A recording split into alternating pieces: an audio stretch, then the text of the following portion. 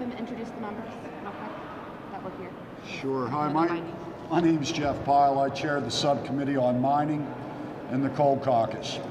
I come from Ford City, Pennsylvania. I'm honored to introduce to you some of the Friends of Coal here in the Pennsylvania legislature. To my right, my senator, Don White of Indiana County. And yeah, you can applaud him. To my left, Senator Scott Hutchinson, uh, soon to be in January, currently a representative from Venango County. Senator Eugene Yaw from the Williamsport area, behind him. Representative Rick Saccone from Elizabeth and Forward Township.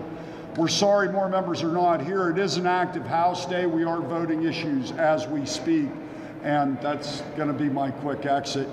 I will leave you with a thought. I seem to remember just a couple of years ago, the buzzword was let's rid ourselves of dependence on foreign energy. Now, it strikes me as greatly ironic that we can do that from right beneath our own feet. Coal can generate a kilowatt hour that you use in your household for less than six cents an hour.